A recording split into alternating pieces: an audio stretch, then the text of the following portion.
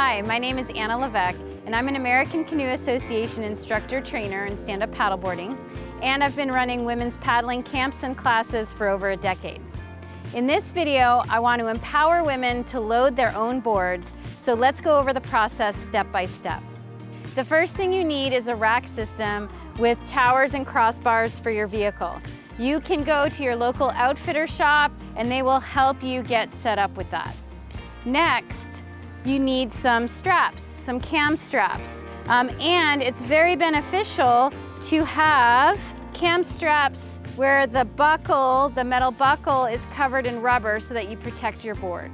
We need to take our cam straps and place them around the crossbars. And you'll want to take one end and put it towards the front of the car and then the other end so that they're ready before you place your board on your roof. Now that we have our two straps ready to go on our roof racks, it's time to lift and load our board. So lifting and loading your board by yourself is easier than you think. Here's a really simple way.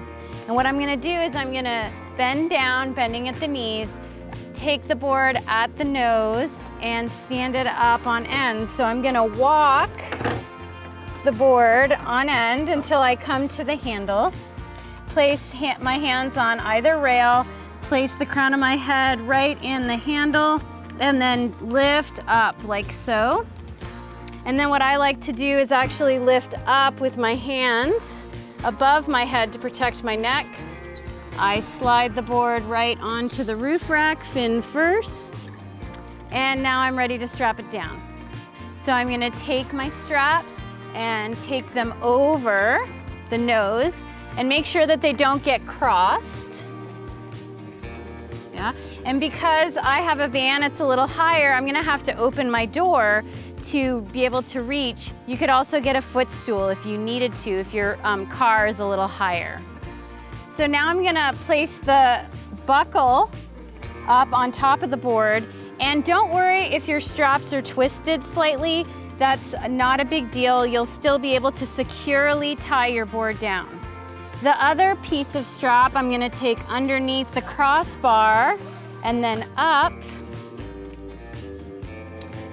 And then I'm gonna thread it through the buckle and pull down. But I'm not gonna pull down super tight yet because we still need to adjust the front strap.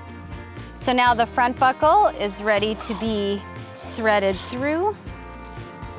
And now that both straps are uh, on the board and around the rack, I'm gonna tighten down on both of them. So then with the long strap, different people do different things. What I like to do is just add a little bit more tension by wrapping it over and under. And so right here, I'll thread it through and under, and I'll tighten it. And I'll do that a few times. So now that I've secured my board to my roof, I'm gonna check it to make sure it doesn't move. And then I know that I have successfully tied it down to my roof rack and I can confidently drive to the water. For more women-specific videos, subscribe to Stand Up Paddling TV on YouTube.